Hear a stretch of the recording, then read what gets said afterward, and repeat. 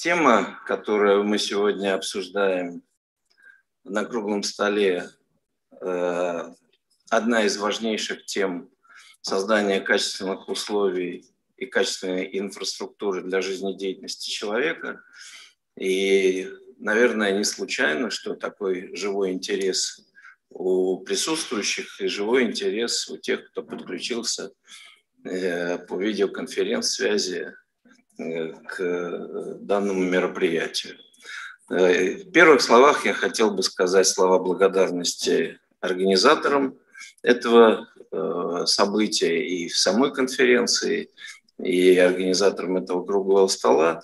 И не только потому, что пригласили меня быть модератором, но и потому, что это событие очень важное, значимое. И возможно, что для многих э, участников этого, этой конференции э, это выбор пути, по которому развивать свою инфраструктуру.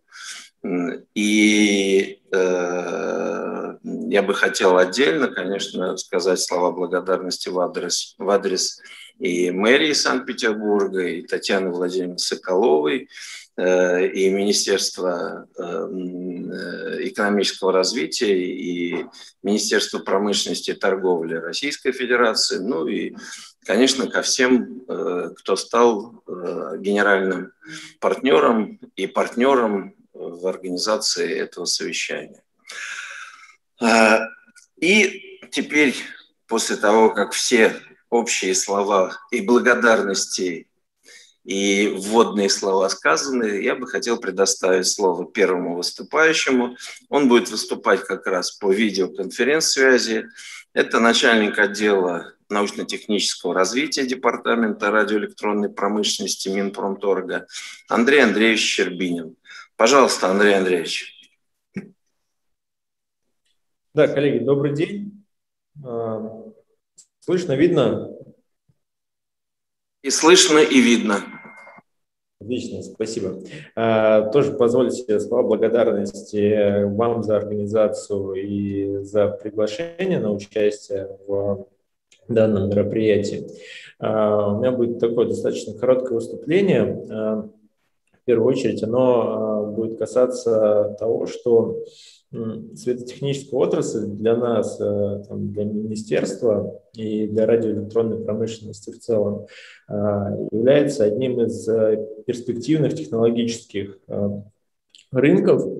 Это зафиксировано у нас в стратегии, и, безусловно, мы уделяем этому дополнительное особое внимание. А, что бы хотелось сказать про светотехническую отрасль в целом, что а, из того а, объема и разнообразия направлений, которыми мы в радиоэлектронике занимаемся, светотехническая отрасль на текущий момент созрела настолько, что ключевым инструментом поддержки, который мы можем оказывать для отрасли, это является нормативное регулирование. А, если делать срез по нашим финансовым инструментам, по нашим финансовым мерам поддержки и по тому, как их а, потребляют различные сегменты. А, вот здесь с точки зрения финансов светотехническая отрасль со своей стороны говорит, что мы достаточно конкурентоспособны, достаточно э, сформированы, поэтому э, в первую очередь от нас, ну, к нам, как Министерство промышленности и торговли, приходит запрос на регуляторные меры, на регуляторику э, в отношении светотехнической продукции. За это, собственно, всем участникам рынка тоже отдельное спасибо, потому что мы понимаем, что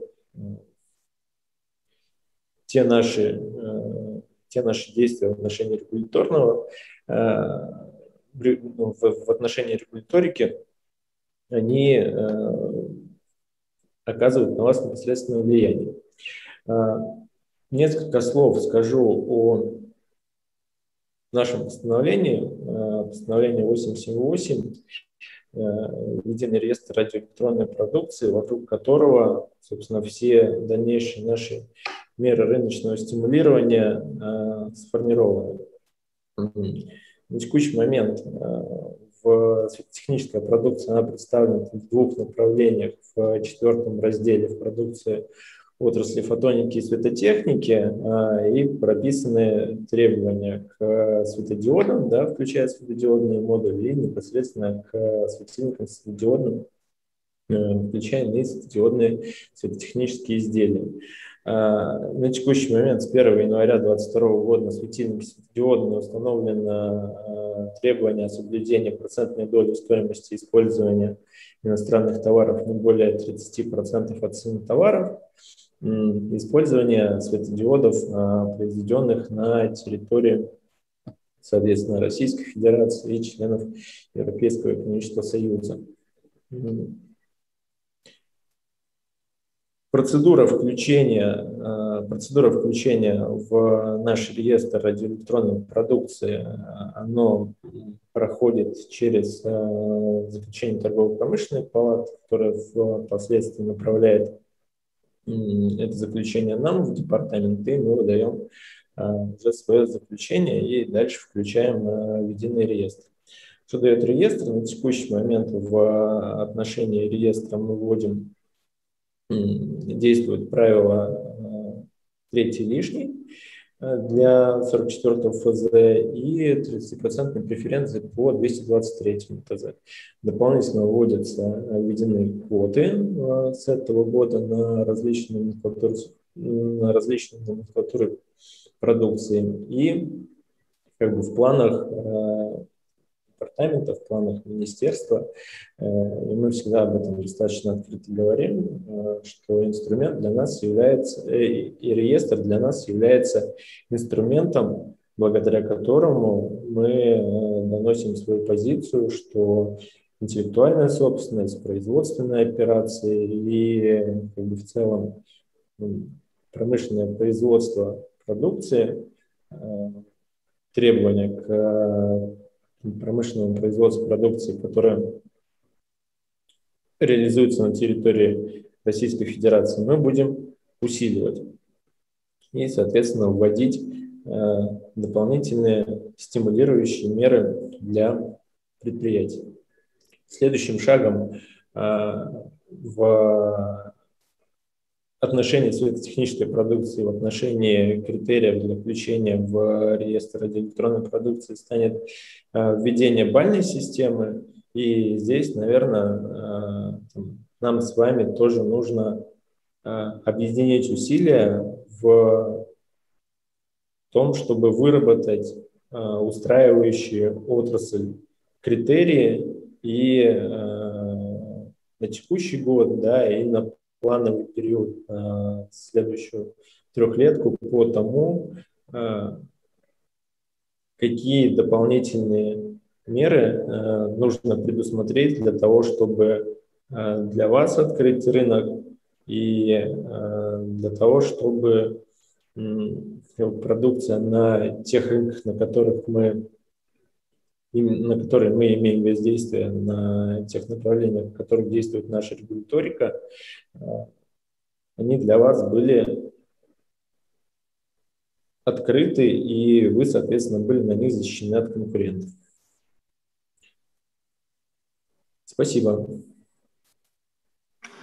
Спасибо, Андрей Андреевич. Для нас, безусловно, для всех участников совещания важно, какие изменения готовятся и что Минпромторг предпринимает в части ограничения доступа на рынок для создания преимуществ отечественным производителям электроники и светотехники в частности.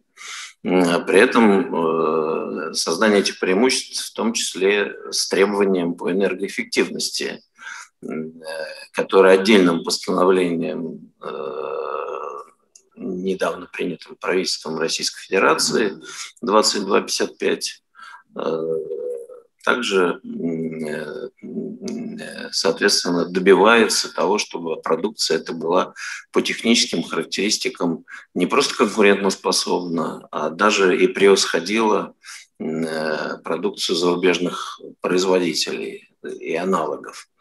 Но э, вот вы упомянули про э, попадание в реестр отечественных производителей. 870, при соответствии 878 постановлению и соответствии с 719 соответственно, постановлению. Механизм, э, вы сказали, что это торгово-промышленные палаты, но ни в одном из этих постановлений нет механизма дальнейшего мониторинга соблюдения требований э, при поставках для государственных приравненных к ним нужд. И это первая проблема, которая существует и которую необходимо решать, иначе рано или поздно она доведет до скандала. И вторая проблема – это проблема, когда недобросовестные заказчики с недобросовестными поставщиками формулируют определенного рода ограничительные требования, в результате которых э, доступ к тем или иным тендерам может иметь только один единственный поставщик, и то базирующийся на иностранных комплектующих. И в этой части уж точно он не соответствует никаким требованиям 719 и не должен находиться в реестре 878, а попросту говоря, это вообще надо квалифицировать по 159 статье УК Российской Федерации как мошеннические действия, поскольку он поставляет под видом отечественной продукции, сертифицировав перед этим как отечественную продукцию на отечественных комплектующих эту продукцию, попав к вам в реестр, поставляет дальше продукцию, не соответствующую этим критериям и характеристикам. И, э, Андрей Андреевич, когда вы будете думать о доработках постановлений 878 возможно, 719 убедительная просьба пригласить профессиональное сообщество участию в доработках, чтобы действительно, э, с одной стороны, и рынок был бы конкурентным, среда конкурентная, и отечественные производители по открытым правилам, честным правилам на этом рынке конкурировали друг с другом и создать преференции. Я думаю, что э, никто из сидящих в зале и я думаю, ни одного нет в стране, желающего, чтобы его налоги уходили на э, формирование промышленного и экономического потенциала даже нашего горячо любимого юго-восточного соседа. Не говоря уже о совсем не горячо любимых наших западных партнерах. Поэтому большая просьба э, учесть это пожелание и пригласить нас к совместному творчеству при э, доработках. Спасибо. Да. Ваня, да. да? если можно. Можно, конечно. Хотя у нас круглый стол, но... Да, пожалуйста. Да, в части э, ограничения поставщиков через э, указание определенных требований технического задания. Здесь э, мы уже на других направлениях прорабатываем, э, ограни... ну, прорабатываем э, необходимость э, указания ограниченного набора характеристик при формировании э, конкурсов да, по 44-му ФЗ. То есть организация, которая проводит конкурс, не имеет права указывать какие-то дополнительные характеристики, кроме тех, которые там, относятся к той или иной продукции. Это один из механизмов, который мы преследуем для Э, защиты как раз вот от э, второго э, комментария, который у вас был. Вот. А в части мониторинга здесь действительно мы там, с вами тоже обсуждали. Здесь мы готовы к открытому диалогу. Нужно учитывать, что вопрос последующего мониторинга вопрос там, не только нашего ведомства. Вот, мне кажется, что там в широкой площадке с другими ведомствами мы а, этой цели с вами тоже достигнем. Спасибо. Спасибо. Э, я хотел бы предоставить слово генеральному директору Ассоциации энергосервисных компаний РАЭСКО Алексею Викторовичу Туликову. Пожалуйста, Алексей Викторович. Валентинович, спасибо большое. Дорогие коллеги, рад всех приветствовать на этом мероприятии. Наконец-то мы собираемся в формате очном, и я отрадно видеть большое присутствие участников. Даже без масок. И даже без масок, включая президиум. Поэтому надеюсь, что мы в таком формате будем собираться чаще. Это позволяет ну, действительно обмениваться какими-то позициями, мнениями. Эм, мой доклад посвящен вопросам, связанным с привлечением инвестиций в модернизацию э, системы освещения в России. Речь идет не о строительстве новых мощностей производства, а именно проекты, которые связаны с повышением энергоэффективности, с заменой реконструкцией системы освещения. Системы освещения. На текущий момент э, плане именно инвестиционных механизмов мы видим разные сектора, которые активно развиваются по разным формам. В государственном муниципальном секторе это уличное, дорожное, внутридворовое освещение, а, также наружное и внутреннее освещение различных социальных объектов, начиная от э, организации сферы образования, здравоохранения, заканчивая исправительными колониями, федеральными образовательными объектами. В коммунальном хозяйстве тоже есть проекты, это водоканалы, либо э, иные организации коммунального комплекса меняют освещение на своей территории. На квартирных домах есть много интересных проектов, связанных с заменой освещения в местах общего пользования, в том числе с использованием э, энергосервисных механизмов. Ну и, соответственно, частная сфера, промышленность, энергетика, транспорт и в том числе коммерческая недвижимость. Здесь также есть э, система наружного и внутреннего освещения, которая э, по сути дела, модернизируется использование инвестиционных механизмов со стороны потенциальных исполнителей. Какие схемы есть? На текущий момент именно в секторе публичном, там, где речь идет о взаимодействии э, частных инвесторов и государства или частных инвесторов муниципальных образований, э, мы видим разные модели, которые могут быть использованы для реализации этих проектов. Опять же, сама модель – это, по сути дела, э, финансово-правовой механизм, не отражает качество решение, которое будет реализовано, сроки окупаемости, эконом-класс будет, либо люксовые какие-то решения. Это только исключительно схема, которая позволяет сбалансировать интересы разных сторон, как заказчика-исполнителя, так и финансирующих организаций, если они в этих проектах участвуют.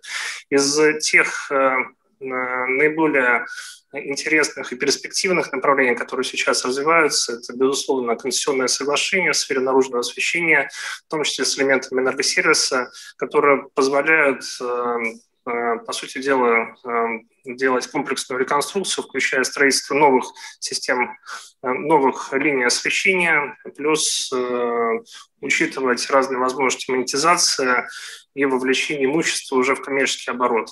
Также э, пока еще не опробировано на практике, но есть э, интересные возможности, которые предусматривает законодательство о государственном частном партнерстве, муниципальном частном партнерстве, более э, ориентированное в сторону частного инвестора и позволяющее сохранять как в течение срока действия соглашения, так и после его истечения объектов собственности инвестора.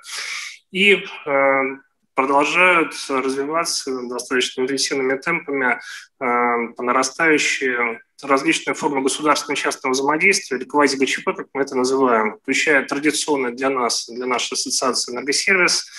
Сейчас мы видим большой интерес к иным моделям в государственном муниципальном секторе, таким как, например, лизинг, система освещения, Э, различные проекты, связанные с э, жизненным циклом, э, и плюс пока не опробировано на практике, но постоянно там, в нашей среде ведутся дискуссии о возможности потенциальной реализации проектов в виде сервисных контрактов, не энергосервисных, а сервисных, когда исполнитель, по сути дела, оказывает услугу освещения на территории Э, муниципального образования, э, но это не концессия, а именно 44-й федеральный закон. Это классические формы, которые э, на текущий момент в той или иной стадии развития находятся. Так. Работает может, давайте будете листать с компьютера. Да, хорошо. Э, с точки зрения именно применимости, как я уже отметил, из всех возможных э, инвестиционных форм, или договорных, финансовых форм, на текущий момент не все применяются. Фактически применяются концессионное соглашение, соответственно, энергосервис и э, проекты, связанные с лизингом, контракты жизненного цикла. Остальные формы пока находятся в спящем режиме, но тем не менее допустим, проекты, связанные с эм, сервисом, с нашей точки зрения, имеют потенциал, если будут докручены в законодательстве и обязаны необходимой нормативно-правовой базой. Кроме данных форм, которые ну, наиболее, наверное, известны. Есть также спики и офсетные контракты, которые могут быть интересны отдельным производителям. Допустим, офсетные контракты позволяют становиться единственным исполнителем, единственным поставщиком в случае, если ну, при э, реализации проекта его объем достигает определенных показателей, установленных 44 федеральным законом, тоже может быть интересным для светотехнической отрасли. Вот. Но в целом каждый механизм с нашей точки зрения, который применяется на практике, он обладает своими плюсами, своими э, преимуществами и недостатками, может быть в определенных условиях реализован. С нашей стороны мы специально готовили аналитику по конституционным соглашениям, э, мы ориентируем наших членов, чтобы они смотрели в эту сторону, потому что э, с точки зрения качества интересов муниципальных образований они позволяют в ряде, в ряде случаев, где условия позволяют, они дают возможность реализации более интересных, более комплексных проектов. Но, тем не менее, практика показывает, что далеко не во всех муниципальных образованиях, э, муниципалитетах эти проекты могут быть реализованы. Речь идет только об уличном освещении, э, то есть э, освещении населенных пунктах. И на самом деле один из, ключевых, один из ключевых проблемных аспектов реализации, возможности реализации конституционного соглашения – это правовой статус имущества, который находится Э, ну, э, который, в котором находятся соответствующие объекты освещения. Если объекты освещения находятся в собственности частных субъектов, сетевых организаций, иных хозяйствующих субъектов, э, возникает объективная сложность в реализации таких проектов. И иногда, иногда некоторым городам мы рекомендуем рассмотреть возможность комбинированной реализации на отдельных светоточках, на отдельных мачтах реализовывать э, энергосервис, на отдельных реализовывать концессию. Это тоже на текущий момент допустимо. У энергосервиса также есть свои ограничения. Безусловно, традиционно энергосервис реализуется на светильниках эконом-класса. Невозможно за счет энергосервиса покрыть существенный недосвет э, и в случае, когда необходимо строительство новых линий освещения. Есть объективные вопросы относительно возможности применения при реализации многосервисных проектов IT-технологий или дополнительных, э, дополнительного оборудования, которое непосредственно не связано с энергосбережением, но тем не менее повышает управляемость проекта или какие-то иные э, аспекты улучшают. Мы имеем противоречивую практику на текущий момент антимонопольного органа в этой области. Но, тем не менее, Эргосервис достойно занял свое место в практике. Э, с точки зрения иных механизмов, которые на текущий момент применяются, контракты жизненного цикла, есть практика в автодорожной сфере по системе освещения и достаточно серьезный большой контракт в Нижнем Тагиле, который был заключен в 2014 году, до сих пор реализуется. Вот, э, по-разному э, со, стороны рынка э, и со стороны участников реализации этого проекта к этому проекту относятся. Сейчас не буду обсуждать саму специфику этого проекта, отмечу, что контракты жизненного цикла, с моей точки зрения, обладают значительно меньшей гибкостью и наработкой, чем те же самые энергосервисы и концессия. Есть объективные ограничения, которые не позволяют хеджировать риски для инвестора, допустим, в связи с волатильностью курса валют и так далее. В концессии этот механизм отработан через институт особых обстоятельств, институт расторжения, прекращения. Вот. Э, к сожалению, в КЖЦ пока эти механизмы э, отсутствуют. Э, что касается частной сферы, то здесь мы видим тенденцию, связанную с тем, что проекты реализуются на крупных промышленных предприятиях в основном через механизм договоров о поставке с монтажом, либо поставки с шеф-монтажом с рассрочкой оплаты. Э, это связано с тем, что энергосервисы или какие-то э, договоры услуг искажают баланс, и некоторые компании отчитываются по МСФО, и это для них критично. Соответственно, договоры поставки э, с монтажом, они позволяют эти риски хеджировать. И одновременно, если рассрочка пятилетняя, уже на текущий момент есть в банковской среде отработанные механизмы их рефинансирования, которые на самом деле применяются достаточно эффективно и широко. С точки зрения общего анализа того, что произошло за прошлый год, в начале года мы делали предварительную статистику, она нас на самом деле по энергосервису ну, э, была печальная. Сейчас мы уточнили данные. На самом деле рынок вырос по сравнению с прошлым годом. Э, имеется в виду количество заключенных энергосервисных контрактов как в системах освещения, так и в остальных отраслях. Кроме того, мы наблюдаем Э, ну, то есть он вырос вне зависимости от ковида, вне зависимости от того, что были введены требования по импортозамещению, тем не менее, все равно количество контрактов оказалось больше в абсолютном выражении, в стоимостном выражении. Вот. Кроме того, мы видим существенный крен э, в энергосервисном бизнесе в сторону освещения. Опять же, это несмотря на то, что появляются крупные проекты в генерации автономной, допустим, замена э, дизельной генерации на солнце дизель или там установки, э, ну, допустим, сейчас по Минобороны идет, продолжается кампания по модернизации котельного оборудования, тоже крупный проект. Вот несмотря на это, все равно освещение, оно потихонечку, потихонечку, ну, доминируют в э, сфере энергосервиса. Причем это разные проекты, как я уже отметил, и уличное, и наружное, и внутреннее освещение, и комплексные проекты. С точки зрения, допустим, просто если даже сравнить объем, то количество контрактов, которое было реализовано с 11 по 18 год, общей совокупности до 100 миллионов рублей, оно по, своим, по своему объему сопоставимо с тем, что было реализовано в прошлом году. То есть э, рынок растет в геометрической прогрессии. Допустим, даже если сравнивать показатели с 2019 годом, то э, у нас по контрактам свыше 100 миллионов было определенное проседание. Опять же, это из-за большого количества обжалований, но мы полагаем, что эти проекты будут перенесены и реализованы в любом случае либо в этом году, либо в следующем году в виде концессионных соглашений, либо энергосервисных договоров. Но по контрактам до 100 миллионов рублей мы видим просто экспоненциальный рост э, по отношению к 2019 году. С точки зрения э, того, что планируется с нашей стороны и делается, вот есть у нас базовые нормативно-правовые акты, не считая актов в области импортозамещения, мы над ними перманентно работаем. Есть уже инициативы, которые находятся на этапе межведомственного согласования и в ближайшее время будут внесены в правительство, это в том числе изменение 636 постановления правительства. Также у нас уже готовы изменения в 44-й федеральный закон и предложения есть по совершенствованию правил оценки заявок. Э, для того, чтобы сбалансировать как раз требования, которые на текущий момент с нашей точки зрения вводят, э, ну, как бы, вводят в заблуждение заказчика и потенциальных участников, создают дисбаланс.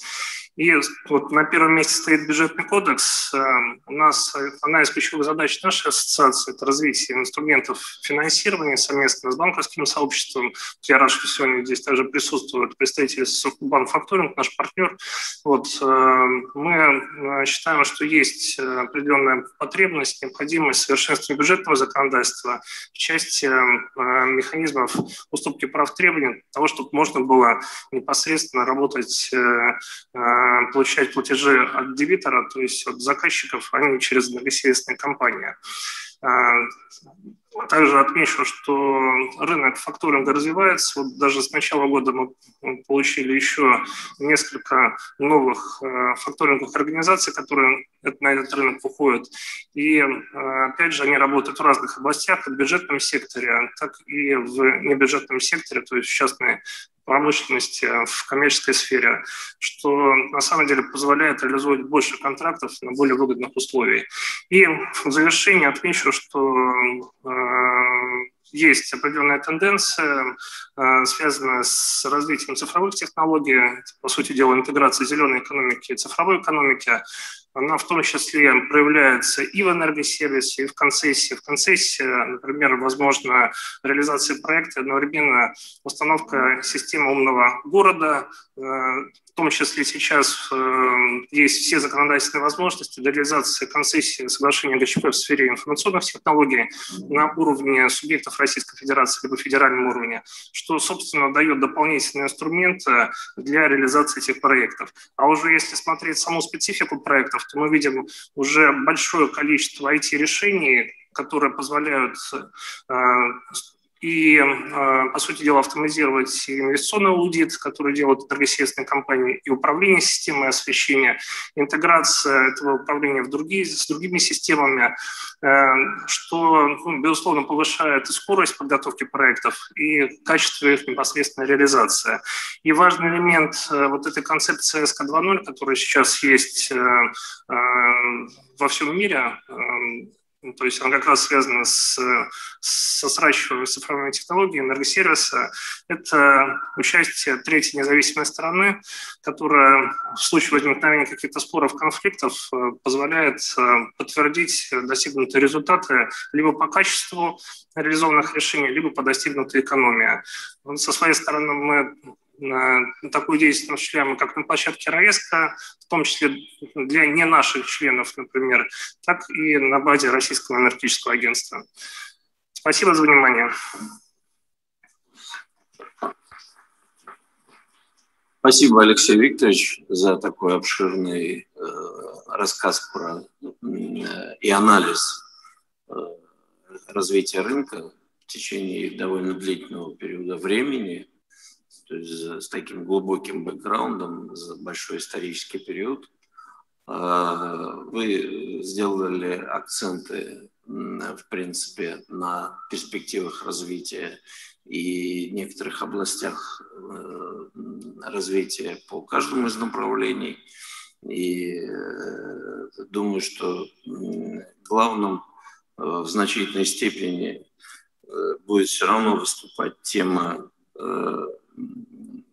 даже не энергосбережение главным узловым моментом, даже не энергосбережение, а, а тема привлечения, э, фондирования в э, такого рода проекты. И сегодня в значительной степени это является сбоем в развитии и та геометрическая прогрессия, которую мы наблюдали, она, тем не менее, умещалась внутри в целом оборотных средств, которые либо ковенант по оборотным средствам, которые существовали в этой отрасли. Но сегодня это уже достигло своего предела, и э, вы очень хорошо подчеркнули, что необходимо э, реформировать законодательство.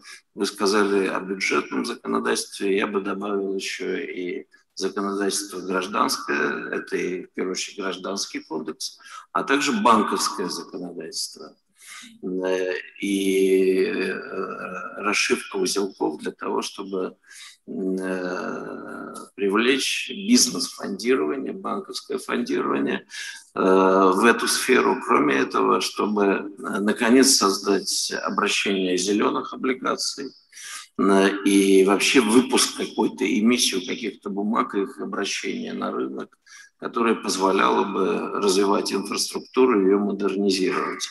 И это наша еще предстоящая задача, которую необходимо решать, конечно же, и с правительством Российской Федерации, ну и в целом отрасли, э, включая и все общественные организации, институты отрасли. И очень хорошо, что вы на это обратили внимание. И в этой связи я хочу попросить переформатировать э, выступающих и попросить выступить Людмилу Игоревну Нестерову, генерального директора «Стройкредит факторинга», э, которая у нас участвует сегодня в круглом столе.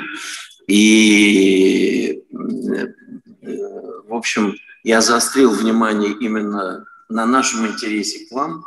Ну и, соответственно, хочу передать вам слово. Спасибо.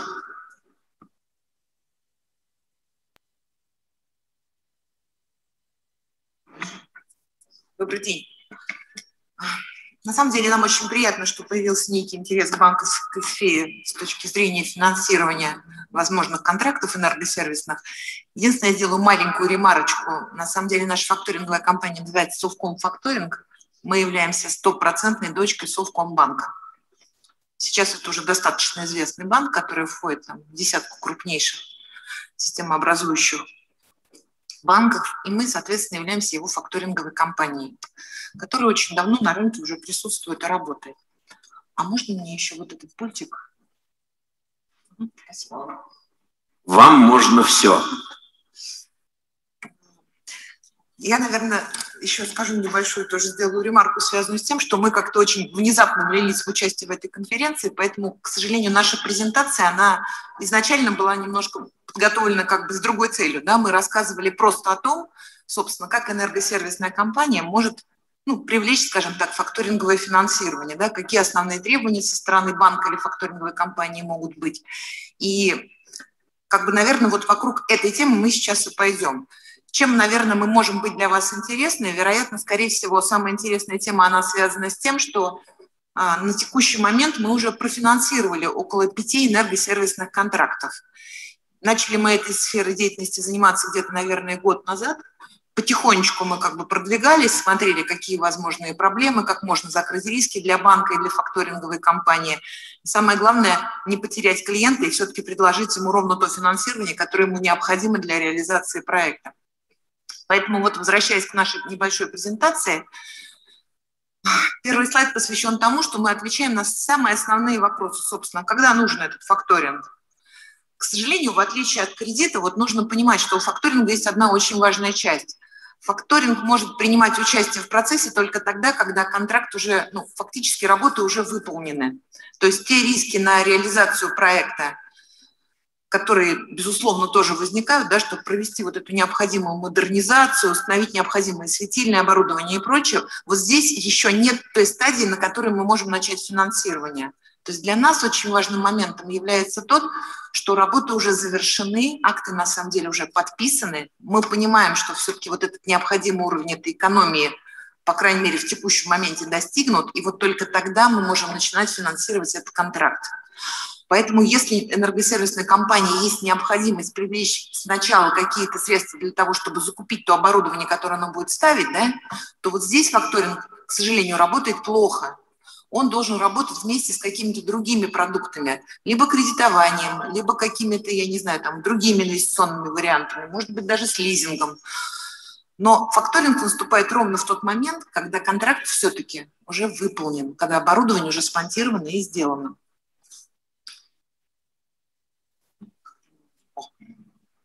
Этапы. Ну, этапы факторингового финансирования энергосервисного договора, я так понимаю, что наша презентация, она потом будет предоставлена да, участникам. Поэтому я, наверное, тогда не буду очень подробно ходить по этой теме. Но, собственно, это вот ровно о том, о чем я и говорила, что сначала все-таки должен быть подписан контракт, а потом уже можно говорить о том, что мы будем переходить к финансированию. Как работает факторинг? Стандартная совершенно небольшая схема. Она показывает как идут документы и, самое главное, как идут денежные средства. Вот главным комментарием к этой схеме я, наверное, сделаю следующее. Вот смотрите, когда происходит подписание генерального договора факторинга, мы с вами уже проговорили тот факт, что да, уже контракт, ну как бы оборудование установлено, акты подписаны, началось уже непосредственно сбор уже информации, да, и достижение вот этой экономии так называемой. Соответственно, мы можем запараллелить два процесса. То есть вот сейчас мы стали пытаться делать такие проекты, когда приходит компания, которая говорит, я планирую принять участие там, в определенном проекте энергосервисном. Сможете ли вы, если я выиграю этот проект, да, установлю необходимое оборудование, подпишу соответствующие акты, сможете ли вы, соответственно, меня профинансировать? Поэтому мы можем как бы запараллелить два процесса. Да? Мы можем внутри факторинговой компании банка предварительно установить лимит, чтобы участник энергосервисного процесса потом понимал, что да, этот контракт будет профинансирован после того, как он его выполнит и предоставит нам необходимые документы. Может быть другая история, когда контракт, собственно, уже исполнен, и к нам приходит энергосервисная компания, которая уже обладает информацией и, самое главное, подписанными актами и даже уже платежами. То есть уже прошло 3, 4, 5 платежей от заказчика, но так как эти энергосервисные контракты все очень длинные, соответственно, нам этот энергосервисный контракт можно переуступить ну, на любом этапе, да, может уже пройти год, как исполняется этот контракт, два, три, потому что сейчас мы уже берем энергосервисные контракты со сроком исполнения до 7 лет. Соответственно, вот эта долгосрочная задолженность, которая у вас есть, она может быть переуступлена факторинговой компании, и тем самым у вас будет появляться возможность пополнить свои оборотные средства. А, параметры финансирования. Но я уже сказала о том, что вот на текущий момент факторинговая компания берет энергосервисные контракты сроком до 7 лет. Мы побаиваемся брать более долгосрочные, скажем так, контракты, и вот эти 7 лет очень сложно у нас проходили. Первоначально мы начинали говорить о контрактах там трех, пятилетних, но потом стало понятно, что нет практически таких контрактов, что если мы хотим работать с этой тематикой, то сроки в любом случае надо увеличивать. Вот сейчас мы берем контракты до 7 лет, сумма финансирования абсолютно разнообразная, от 10 миллионов до миллиарда. Если обращаться к нашей практике реализации, то я могу сказать, что у нас есть профинансированные контракты, у которых там общая сумма порядка там 200-250 миллионов рублей, а есть небольшие контракты, когда к нам приходят энергосервисные компании, которые уступают нам контракты там, ну вот мы тут пишем от 10 миллионов, но у нас даже есть контракт, по-моему, от 6. То есть, соответственно, для нас просто важно, собственно, в чем состоит сам контракт, насколько, ну, мы понимаем, что экономия будет достигнута и какие возможны риски, и, безусловно, очень важным параметром для нас является сама энергосервисная компания – потому что все-таки мы вынуждены этот, ну, как бы риск рассматривать именно на нее. И вот, наверное, о тех подходах, которые мы, собственно, предъявляем к этой компании, я вот скажу немножечко позже. Что-то там у меня требования к энергосервисному контракту. Ну, давайте сначала про компанию поговорим. Вот, собственно, сама компания, которая к нам пришла и которая хочет получить финансирование. Для нас очень важно, важно, чтобы компания существовала не менее года. Ну, это стандартные требования банка на самом деле. Опыт успешного выполнения энергосберегающих мероприятий у нее должен быть как минимум по трем энергосервисным контрактам. Тоже для нас очень важный момент, потому что мы должны понимать, что этот бизнес надолго, что вот та энергосервисная компания, которой мы фактически выдали денежные средства, да, что она будет существовать на рынке, и как сказать, цикл, ее жизненного цикла хватит для того, чтобы этот энергосервисный контракт выполнить полностью. В каком моменте для нас это важно? Для нас это важно, на самом деле, чтобы энергосервисная компания ежемесячно там, или ежеквартально подписывала необходимые акты с заказчиком, потому что только на основании этого акта, собственно, у нас и появляется основание получить от заказчика платежи. Поэтому для нас очень важно, чтобы компания существовала весь срок своего контракта, чтобы она регулярно его обслуживала, подписывала акты, и только тогда у нас будет основание получать уже платежи, которые идут в погашение да, тех денежных требований, которые мы профинансировали. Отсюда же возникает то самое требование, что клиент должен, не должен, энерго, сам, та, та самая энергосервисная компания не должна находиться в процессе реорганизации банкротства ну, собственно, что она не будет закрыта, да, это та же самая история. И основные стоп-факторы, вот, к которым мы тоже пришли в процессе своей работы. К сожалению, очень частая история, когда идет запрет на переуступку прав требования. В основном, конечно, это связано с четвертым федеральным законом, но и некоторые другие, к сожалению, государственные структуры – они запрещают переуступать требования к себе. Более того, не переуступ, ну, как бы отказываются переставлять реквизиты. Я, наверное, немножко подробнее об этом скажу. С точки зрения факторинга происходит какой механизм? Идет переуступка денежных требований, да? Соответственно, а, дебитор, кому, у кого, собственно, появились эти денежные требования, да, и который раньше платил непосредственно на расчетный счет энергосервисной компании, после такой переуступки должен переставить реквизиты и платить уже не энергосервисной компании, а платить факторинговой компании да, или банку, который, собственно, и купил этот денежный контракт. И вот здесь возникает самая главная проблема. В частности, например, там, с УФСИНами, которые с удовольствием меняют освещение, но переставлять реквизиты категорически отказываются. Насколько эта проблема неразрешима? На текущий момент мы нашли некоторые варианты, которые позволяют нам все равно работать с такими энергосервисными компаниями, для которых, скажем так, заказчик отказался переставить реквизиты. Это так называемая система сейчас номинальных счетов. Когда мы предлагаем энергосервисной компании открыть номинальный счет в Совкомбанке, и для дебитора фактически, да, там, ну, для какой-то государственной крупной структуры, которая категорически отказывается представлять реквизиты, по большому счету ничего не меняется. Она видит тот же самый расчетный счет той же самой энергосервисной компании, с которой у нее был заключен контракт, и, собственно, произошел весь процесс. Да? Что меняется для энергосервисной компании? Для нее есть нюанс. она к этому расчетному дополнительному счету, который она открыла в банке, да, она заключает дополнительное соглашение, согласно которому, скажем так, денежными средствами, которые будут попадать на этот расчетный счет, она не может сама распоряжаться, потому что бенефициаром этого счета является непосредственно там, банк или факторинговая компания. Зачем это нужно факторинговой компании? Очень просто. Вот те платежи, которые придут да, от основного дебитора, они не должны уйти в другом направлении, они должны быть собственно, отданы да, или возвращены факторинговой компании, которая контракт уже, собственно, купила.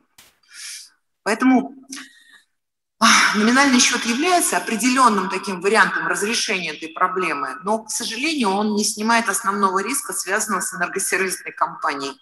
Все равно энергосервисная компания должна просуществовать да, весь этот период, в течение которого будет идти этот энергосервисный контракт.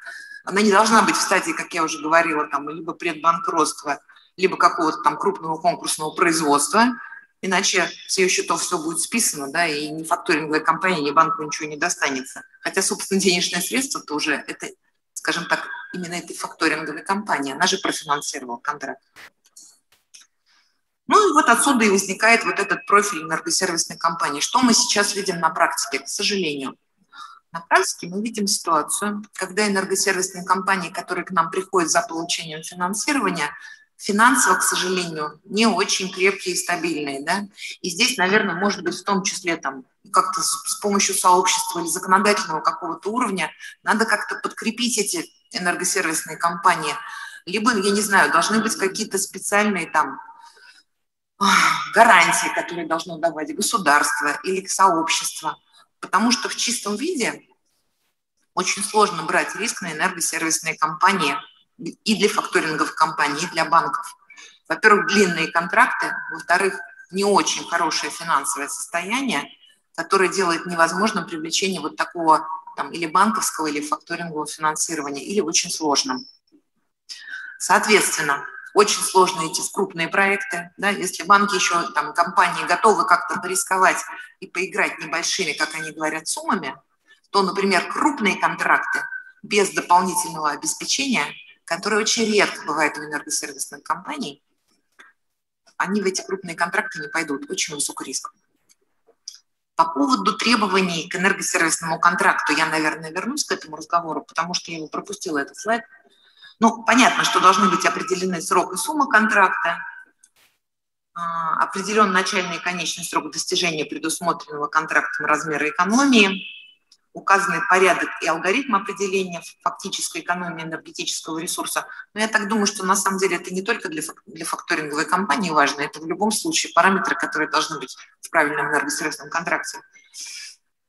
А, просто факторинговая компания, она каким образом рассуждает? Она должна понять, какой объем финансирования она может выдать энергосервисной компании – для этого она должна понимать, о каком размере экономии будет идти речь и на какие ежемесячные платежи со стороны там, дебитора или заказчика, что является одно и то же да, в терминах, она может рассчитывать. И, соответственно, какой размер финансирования она может на начальном этапе своему как бы, поставщику предложить или клиенту.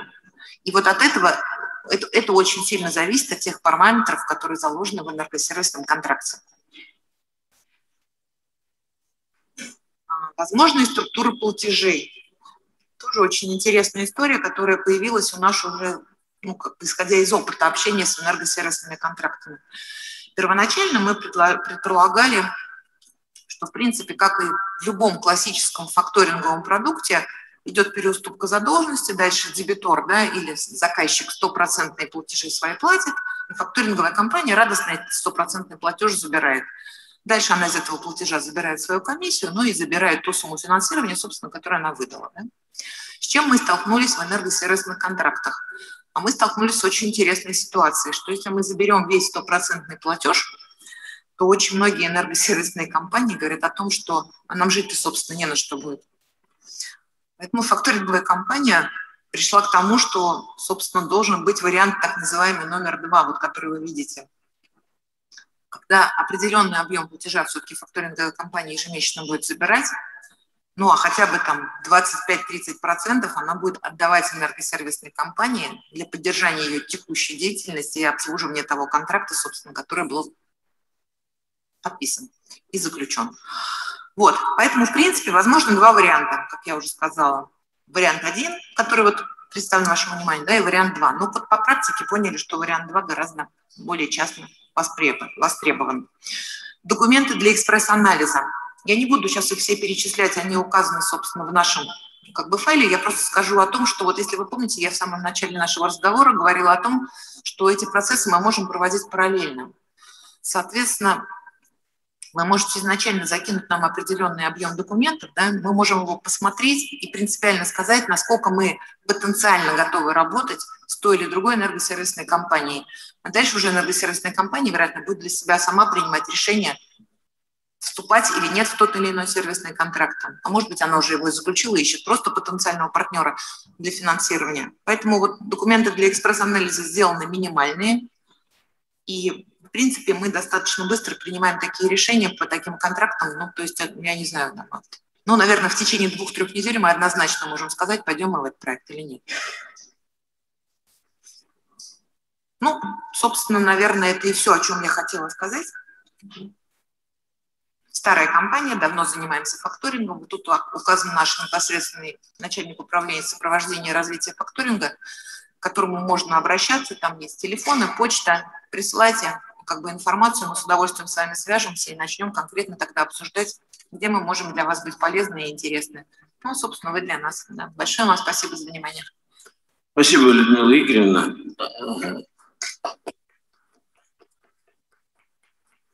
Я думаю, что материалы все будут, э, наверное, на сайте, во-первых, размещены, поэтому все смогут с ними ознакомиться. Э, и, безусловно, ваше выступление очень важно для всех, интересно. А, вы рассказали о факторинговых э, сегодня существующих схемах и проблемах по энергосервисным контрактам. Не по всем государственным частным партнерским механизмам, а только по энергосервисным контрактам. Понятно, что э, вы э, имеете опыт именно в отношениях с энергосервисными компаниями. Да, мы работаем именно с Но на самом деле инструментов гораздо больше. И, конечно, и ведь классический факторинг в данном случае это факторинг не под э, какие-то другие виды залогов, а под залог контракта, который обеспечен платежами. Под, э, под залог денежного требования, конечно. Конечно, да. денежного требования. Поэтому под залог можем... контракта, обеспеченного денежными да, платежами. Да, поэтому мы не можем участвовать в инвестиционной фазе. Да? Все правильно. Вот ну, я вот... сейчас именно про эту сторону да. говорю. Поэтому вот все проблемы, которые вы описывали э, в данном случае, они действительно являются проблемами, когда энергосервисный контракт выполнен, подтвержден достигнутой экономией и несколькими уже платежами, что они осуществляются ровно в том объеме, который покрывает. Да, что был верный изначально расчет. Совершенно верно. Да, конечно. В результате э, вы тогда можете четко увидеть риски свои банковские и их посчитать. А по классике, вообще говоря, э, государственно-частного партнерства э, и других схем государственно-частного партнерства, ну, например, той же концессии, финансовый институт является третьим участником и партнером таким же у, у потенциального концессионера, которым, который обладает, по сути дела, равной степенью участия в составлении концессионного соглашения, поскольку именно финансовый партнер составляет финансовую модель и участвует в ее защите. Потому что концессионерам роль классическая – это техническое наполнение, содержательное наполнение концессионного соглашения, а финансовая модель и финансовый обсчет – это финансовый партнер. И в этой части, если говорить о факторе, а это тоже факторинговое кредитование, ровно такое же. И если вы посмотрите еще добрым взглядом в сторону концессионных соглашений, я понимаю ваши э, ограничения, которые вы сделали в отношении 7 лет. На концессионное соглашение эти ограничения ложатся плохо потому что там начинается история от 10 и выше лет. Но если вы посмотрите в эту сторону, то вы таким образом увидите, с одной стороны, насколько меньше там вот тех рисков, которыми вы сталкиваетесь. С другой стороны, насколько этот рынок увеличит объемы финансирования со стороны э, именно факторингового финансирования со стороны финансовых институтов.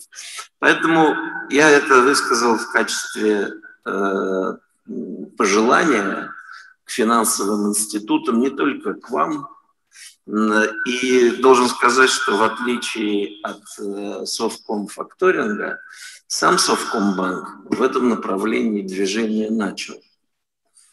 И уж кому, кому, а уж Совком факторингу в первую очередь имеет смысл, конечно, в этом тоже поучаствовать. Поэтому, если вы на эту тему подумаете, то наверняка среди участников э, сегодняшнего мероприятия найдете много потенциальных э, клиентов, которых сможете привлечь на свою сторону и в свой банк. Спасибо. Э, хотел бы передать слово Аникину Алексею Петровичу, генеральному директору компании «Световые технологии ИСК». Пожалуйста, Алексей Петрович. Уважаемые коллеги, добрый день. А, чрезвычайно рад вас всех видеть. Действительно, по прошлому году засиделись мы в онлайн-совещаниях. Уже настолько привычная история а, смотреть в экран компьютера, да, общаясь с людьми, что совершенно какие-то новые эмоции испытываю сегодня, как раз общаясь очно. Большое спасибо организаторам за возможность поделиться, выступить. А, большое спасибо за модерацию. Вы знаете, а, хочется поговорить а, с вами словами опытного человека, эксперта о том, об энергоэффективном освещении и инвестициях, которые сейчас в это направление есть. Вы знаете, многие ждут определенного дерби, потому что в марте, я думаю, со многими из вас мы тоже собирались, правда, онлайн. А, также звучала тема концессии или энергосервис. А, я скорее не соглашусь, концессия или энергосервис. Здесь не предмет выбора, а предмет разбирательств в части того, что хочет заказчик. И вы знаете, вот э, как мы обсуждали это в марте, пока идет э, так называемый конкурентный спор энергосервиса или концессии, страдают те самые бабушки, которым свет необходим в первую очередь. Поэтому, безусловно, э, и тот, и тот вид инвестиционных механизмов, он важен. А, но э, в дополнение хотелось бы сказать, что э, очень много сделано. А, большое спасибо Алексею Викторовичу за подробный отчет относительно 2020 года. Это очень полезная история. Мы видим, что по 2020 году только в части энергосервиса в наружном освещении а, относительно 2019 года значительный рост наблюдается. Это уже более там 5,5 а, миллиардов. Я вот отметил себе реализованных контрактов по 2020 году. Я думаю, а, уже сложилась отличная практика. Вот с утра прочитав свежие новости от замечательного энергетического портала. А, в этом году энергосервисом вообще 10 лет исполняется. И за 10 лет уже много сделано. И поверьте, как человек, у которого опыт а, в энергосервисе уже более половины самого срока, самого первого энергосервисного контракта, я бы хотел вам признаться в любви, знаете, в любви к светотехнике, потому что я очень люблю светотехнику, и как следствие, энергосервис или концессия – это то, что может замечательно ее продвинуть. А, относительно того, какая поддержка сейчас э, происходит по э, реализуемым контрактам, безусловно, это и нормативное регулирование, это то, о чем говорили, говорил первый спикер, это и постановление, и э, регулирование относительно определение продукции российского производства. Это тоже очень нам помогает. А, я бы хотел поспорить с одним и вот поддержать спикера предыдущего Людмилу Игоревну, что а, работать надо не только в части нормативки, а еще и в части финансовых инструментов, которые сделают более доступными а, реализацию этих контрактов. Например, действительно очень хороший механизм факторинга.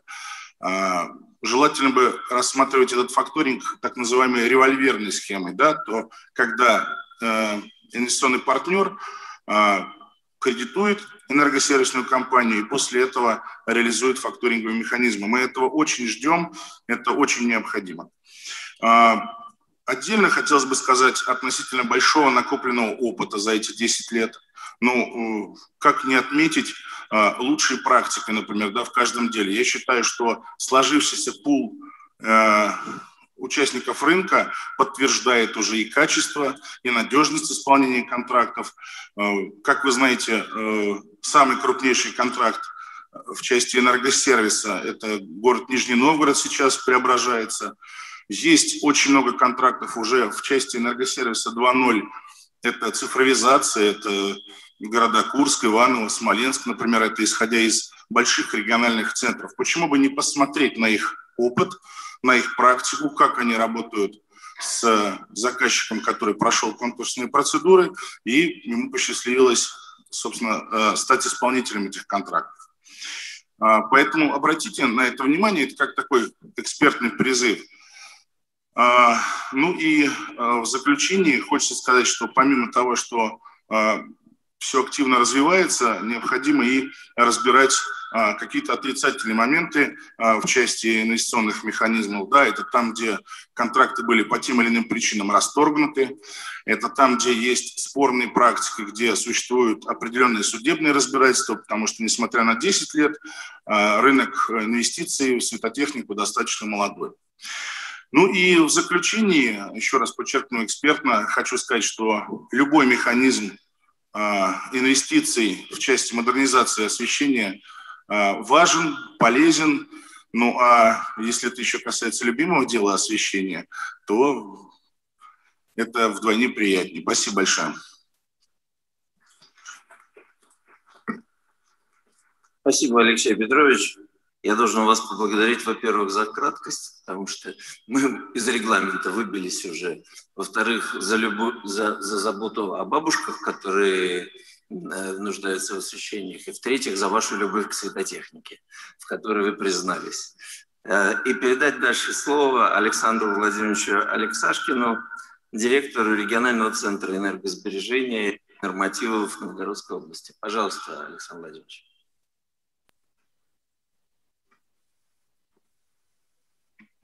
Добрый день, уважаемые коллеги. Меня сегодня попросили поделиться опытом Новгородской области модернизации уличного освещения с использованием такого механизма, как договор финансовой аренды или лизинга.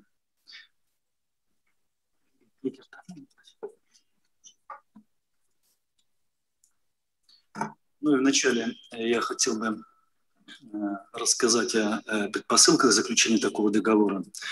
Дело в том, что э, на территории области э, в последнее время в бюджетной сфере в основном все мероприятия по энергосбережению реализуются в рамках каких-то приоритетных проектов. То есть мы в рамках проекта устанавливали и модемы, и приборы учета, узлы погодного регулирования. Э, в настоящее время реализуется один из проектов, такой как качественное уличное освещение городов. В рамках этого проекта мы предполагаем установить э, современные светодиодные светильники, ну, хотя бы с минимальной автоматизацией, во всех городах Новгородской области.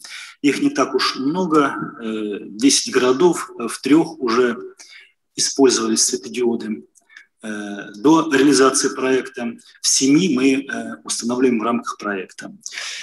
При этом в проекте не указывается, какой именно механизм будут использовать э, органы местного самоуправления, то есть энергосервис, концессия, э, контракт жизненного цикла, там, простой договор там, или э, лизинг. То есть это право выбора органов местного самоуправления. Из семи городов два пошли по пути договора подряда. Ну, просто у местного самоуправления в городах были деньги на эти цели. Они э, самостоятельно заключили договор о модернизировании освещения, и уже в настоящее время э, траты на э, уличное освещение у них сократились ну, как минимум на 50%. Четыре города пошли по самому распространенному пути, заключили энергосервисные договоры, и вот осенью планируется уже выполнить все работы. Один город, это э, Маловиша, они выбрали такой механизм, как лизинг. При этом выбрали они его не сразу. Два раза они э, пытались э, объявить конкурс на энергосервис. Были обращения в ФАС, в суды, штрафные санкции. И поэтому они были вынуждены выбирать иной способ. Я здесь, коллеги, хотел бы обратить ваше внимание, что у нас органы местного самоуправления, они крайне замотивированы в реализации мероприятий региональных проектов. Ну, в данном случае Э, в проекте «Качественное уличное освещение городов». Э, дело в том, что э, целевые показатели проектов мы включаем в перечень обязательств муниципальных образований. Сейчас поясню, что это такое.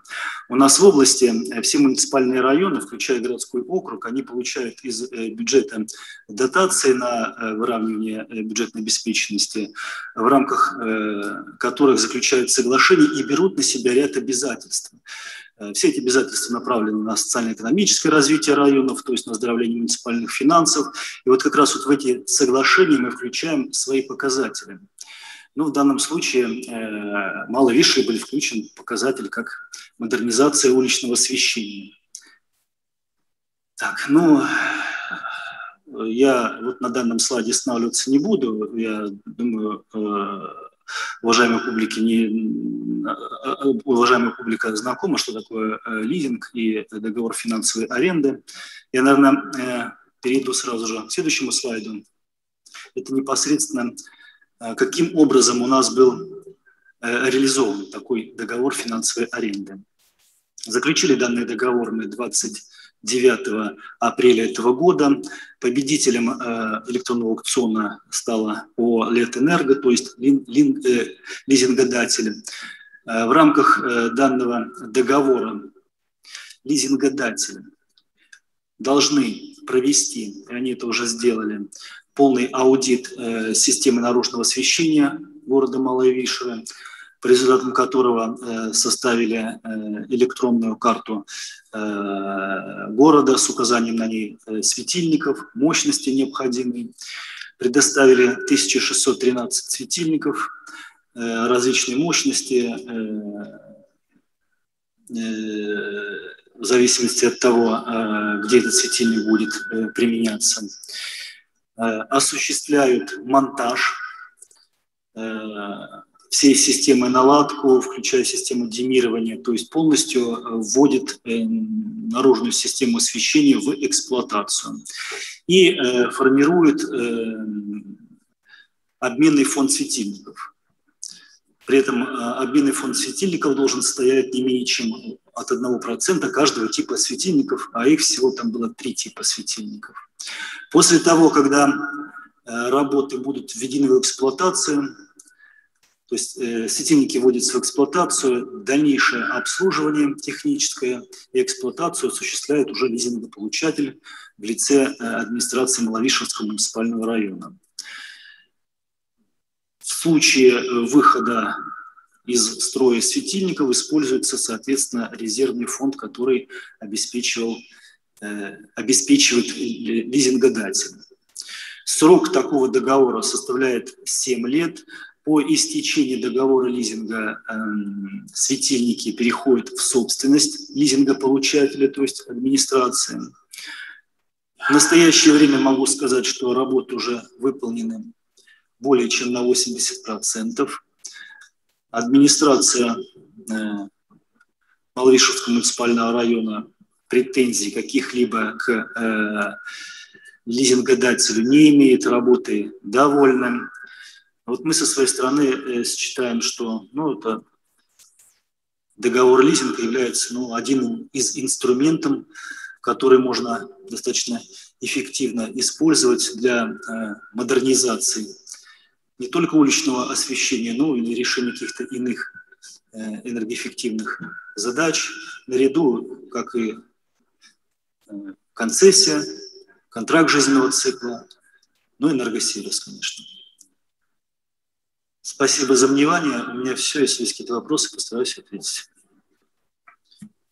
Спасибо, Александр Владимирович. Очень хорошо, что вы заострили наше внимание на такой форме, хотя у Алексея Викторовича в общем объемном докладе было сказано про эту форму. Взаимодействия это лизинговые контракты. И сегодня целый ряд лизинговых финансовых институтов, и в том числе Сберлизинг, э, свое внимание в этом направлении также сосредоточил, поэтому наверняка у этого инструмента, безусловно, есть свое будущее. И, э, конечно, есть свои ограничения по этому инструменту. Это, опять же, срок э, предоставления э, лизинга. Э, как правило, он сегодня ограничивается четырьмя годами, но и могут быть и исключения. Ну и, надеюсь, финансовые институты со временем этот срок начнут увеличивать, что позволит расширить сферу применения лизингового инструмента целом, ну и в частности для светотехнического рынка. А, хочу предоставить теперь слово Дмитрию Михайловичу Ходореву, руководителю Департамента продвижения технической поддержки корпорации Boss Lighting Group. Как раз Алексей Петрович Аникин э, упоминал крупнейший контракт в области энергосервиса наружного освещения Нижнего Новгорода, он успешно сейчас как раз завершается компанией Boss Lighting Group. Пожалуйста, Дмитрий Михайлович. Георгий Валентинович, благодарю. Уважаемые коллеги, приветствую. Я бы хотел увязать э, те, э, ну, как бы доклад в части механизмов финансирования, да, замены осветительных установок с фактическим состоянием э, осветительных установок в нашей стране сегодня. Да, то есть э, вот э, если кратко характеризовать, какое актуальное состояние системы освещения в России сегодня. Э, ну, первое, да, вот можно сказать, что низкий уровень освещенности сегодня в среднем в российских городах, это прозвучит немножко странно, э, потому что, казалось бы, ну, происходит постоянно замена осветительных установок. Вот, это объясняется такими факторами, как а, урбанизация, увеличение населения, которое сильно изменилось за последние 15 лет, уплотнение, а, ускорение в среднем транспортных потоков, что влияет на изменение светотехнических норм. Выходят новые санпины, выходят новые ГОСТы, изменяются требования по индексу цветопередачи, по цветовой температуре, а, выходит постановление правительства. И все это оказывает влияние на актуальность текущего парка осветительных приборов. В целом парк осветительных приборов а, вот с прошлого века, это в основном ламповые осветительные приборы на разных источниках света, они находятся в различном состоянии. В целом я бы сказал, что это состояние, конечно, является хорошим, но э, достаточно сильно идет устаревание. То есть до сих пор много и ртутных ламп есть, и натриевых, и, и других газоразрядных ламп. И в частности, вот за последние 15 лет, пока происходит внедрение, активное внедрение светодиодов, вот, особенно вот на ранних стадиях, 15-10 лет назад э, те светодиодные светильники, которые были внедрены тогда, когда эта технология была еще не опробирована, они тоже могут на самом деле сегодня считаться уже устаревшими и технологически, и какие-то моменты не учитывались, например, слепящее действие э, этих светодиодов, а, виды кривой силы света, то есть часто влияние, ну, часто было зебра на дорогах и так далее. То есть от всего этого сегодня уже постепенно избавляются, уходят, но вот как бы на начальных этапах это имело место быть. Плюс новые тренды, которые сегодня есть, это ну, как по сути, э, интересы, фокус внимания смещается от рынка конечных устройств, то есть самих светильников, к интеллектуальным решениям, э, умным городам, к управлению и так далее. То есть это вот новые тренды. Вот. Если говорить, почему а, вот со светом существует определенная проблема, которая не решена до сих пор, и, и в частности механизмов, и в частности фактического состояния, то я бы назвал такой парадокс. То есть, с одной стороны, смотрите, свет, и здесь я бы хотел поддержать э, и как бы такой небольшой алверды да, Алексею Петровичу э, отдать, э, потому что я сам выпускник кафедры светотехники, тоже занимаюсь светом. Вот, поэтому свет, с одной стороны, он тотально вокруг нас. Вот сейчас э, источники света над нами освещают. Вот мы здесь находимся, да, придем домой, там тоже свет. На улицу выйдем, там тоже светильники. Вот. А с другой стороны, специалистов, которые в этой теме э, глубоко разбираются, особенно вот в крупных таких инфраструктурных проектах, их банально не очень много, и именно специалистов в области светотехники, потому что в стране существует буквально, можно по пальцам одной руки пересчитать э, учреждения, специализированные кафедры, которые готовят специалистов в данной области. То есть получается, с одной стороны, свет влияет на безопасность, свет влияет на то, насколько комфортно мы себя чувствуем. Свет есть вот абсолютно в каждом помещении и на дорогах, э, и мы и изменения в свете, да, вот какие-то модернизации в области света, изменения цветового облика города а, очень сильно заметно, очень сильно влияет. А, если спросить у любого гражданина, что он увидел в первую очередь, он скажет, я увидел, как там а, новые власти свет, к примеру, заменили. Да? То есть вот так это э, заметно оказывает радикальное влияние с точки зрения энергосбережения тоже а в то же время а, людей, которые вот э, глубоко разбираются именно в особенностях построения осветительных систем, из-за того, что система образования выпускает их недостаточно много, их попросту мало. И на самом деле это увязывается, вот, вот этот аспект может быть увязан с выбором и инвестиционных механизмов, потому что а, каждый из них подразумевает свою определенную глубину погружения и глубину проработки, и глубину профессионализма проработки каждого кейса. Ну и, соответственно, а, очень важен профессионализм тех компаний, которыми этим вопросами занимаются. И сегодня это тоже звучало. Вот. Из механизмов частно-государственного партнерства, они все назывались сегодня, энергосервисные контракты, контракты жизненного цикла, концессионные соглашения. Вот. Вот э, если говорить об энергосервисном контракте, то есть один рисковый момент, который я мог бы здесь обозначить.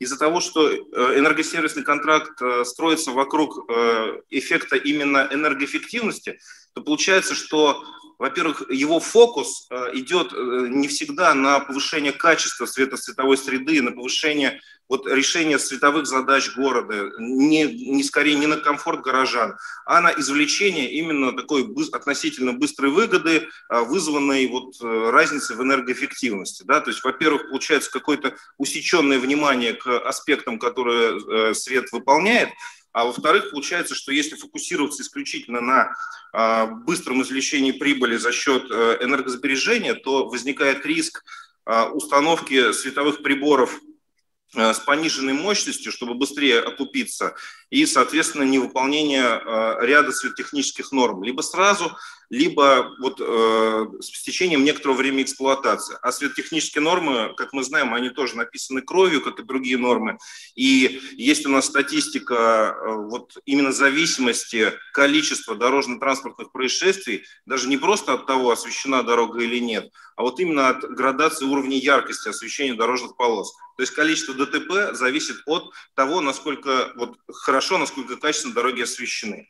Поэтому если здесь вот фокусироваться исключительно на вопросе вот энергосбережения, то часто упускаются из виду такие вещи, как стробоскопический эффект для водителей, а, так, так называемая зебра на дорогах.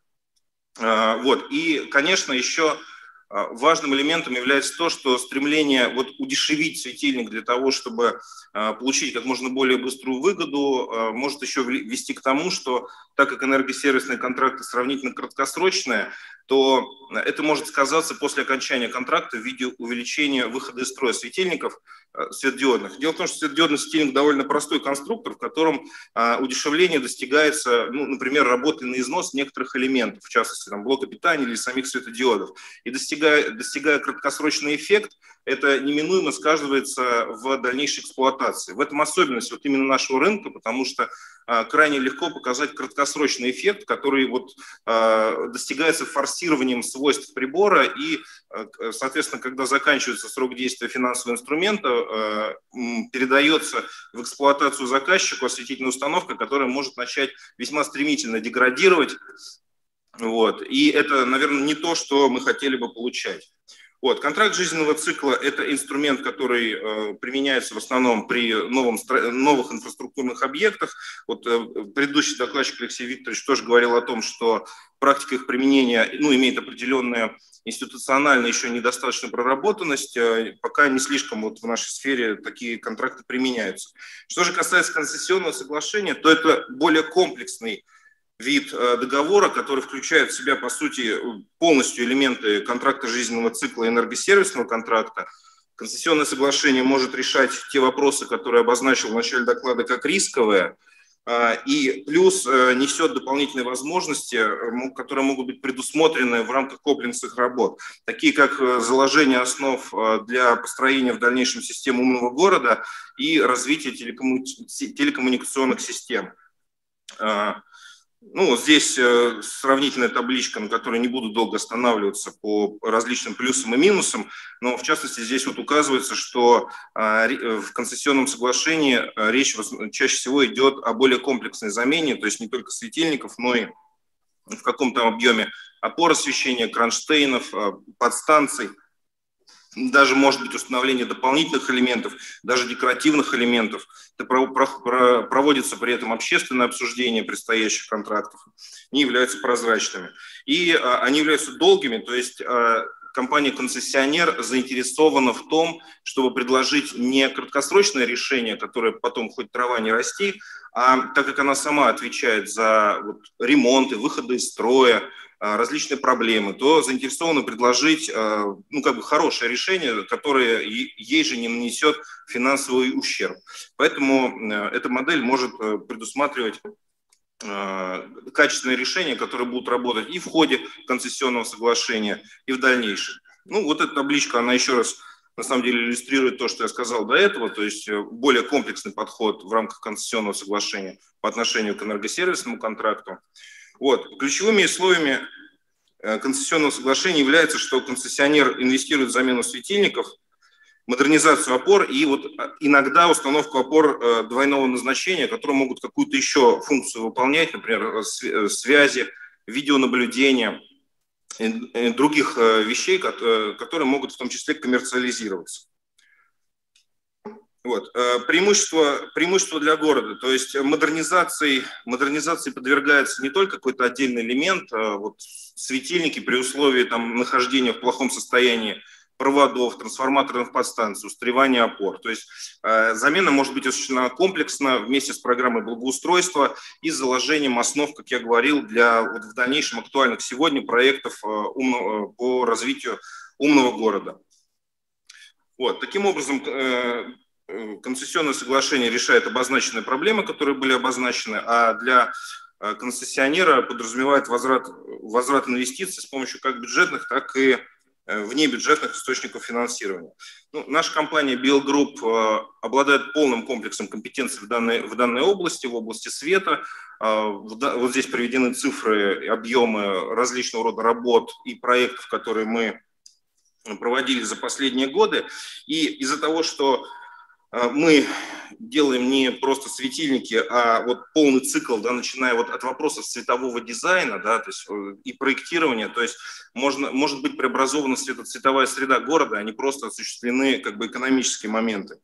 Вот, э, э, собственная система управления освещением, программное обеспечение, а, опыт в монтаже, который позволяет нам а, понимать, а, что, ну, как бы вот, как эксплуатирующая организация, понимать, как те решения, которые мы как производитель закладываем, потом а, фактически работают, и исправлять это на этапе производства светильников. То есть а, в эту тему погружены комплексно. У меня все. Спасибо, Дмитрий Михайлович. И тоже спасибо за краткость. Хотел бы единственное э, сказать, вы э, упоминали о э, плюсах концессии. Вы не упомянули о том плюсе концессии, что он позволяет как раз решить проблему недоосвещенности в муниципалитетах и решить вот те 105 судебных решений, неисполненных по сей день. Э, то есть он позволяет в том числе и создать новое освещение, этот инструмент. Э, при этом вы упомянули о достоинстве, о публичности прохождения процедуры конституционного, заключения конституционного соглашения. И публичность – это в том числе прохождение через все комитеты, обсуждение в городском муниципалитете. И, но э, прав был Алексей Викторович, э, когда в одной из своих таблиц сводных он э, у этой строчки конституционный механизм поставил все, везде плюсики и один минусик. Э, как известно, наши недостатки вытекают из продолжения наших достоинств. Так вот, именно из-за того, что таков процесс публичности прохождения Конституционного соглашения, тщательности проработки и подготовки Конституционного соглашения, что, кстати, для банков и Людмила Игоревна, услышьте здесь, является в том числе инструментом защиты факторингового кредитования, э, поскольку проработанность Конституционного соглашения гораздо более глубокая, подготовка его ведется более длительная. Но минусом, безусловно, является более длительный срок подготовки Конституционного соглашения и его дальнейшее заключение.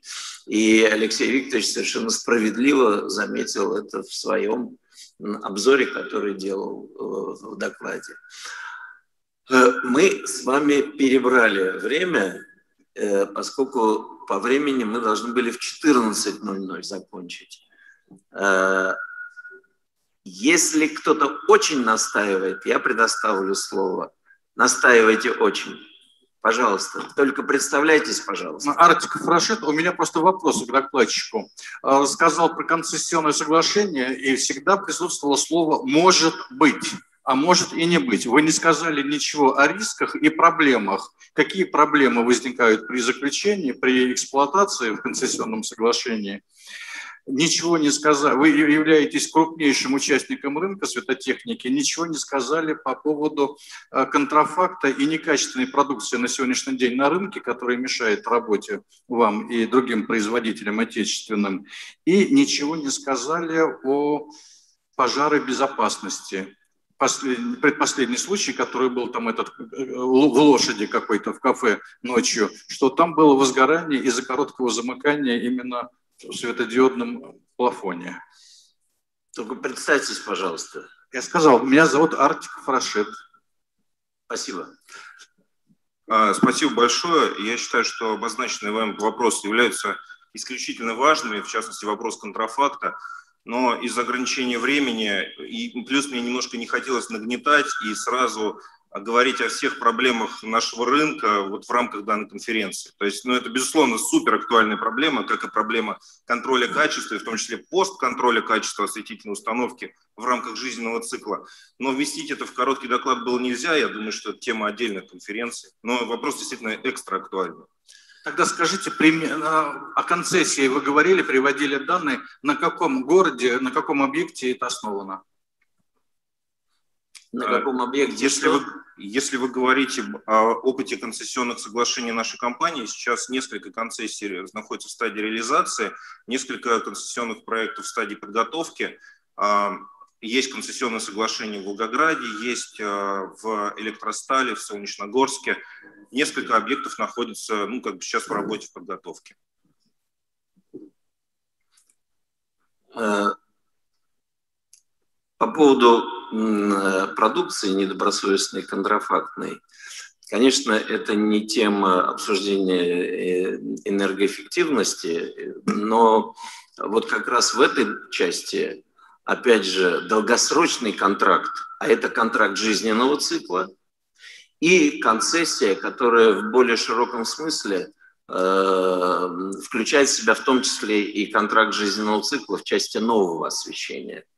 Но в любом случае концессия принимает на себя эксплуатацию действующего по конституционному соглашению осветительной установки, действующего освещения, всего, которое подвержено модернизации, а может и в большей степени, э, чем только то, что было подвержено модернизации нового строительства.